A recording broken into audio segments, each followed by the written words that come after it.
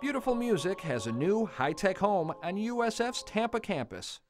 The technology beats any of the best schools in America. It means so much to our students, to our faculty, and to our community. The School of Music's new building formally opened with a price tag of about $47 million. You could probably build a building that looks like this for half that number. So the other half is in the things that make the building work technologically. That includes top of the line acoustics and some of the finest musical instruments available, including dozens of Steinway pianos.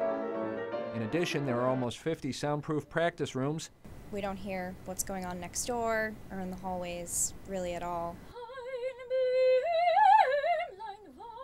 It just improves my focus, and I think everyone else's. And three different rehearsal halls. Now we have a dedicated room for the choral program, the instrumental program, and even the jazz band program at the University of South Florida.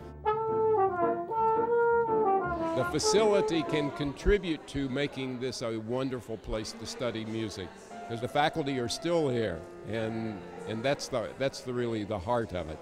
Because the school's mission remains constant turn out the best musicians possible. And A good university unleashes that potential and, and, all that promise. For University Beat, I'm Mark Schreiner.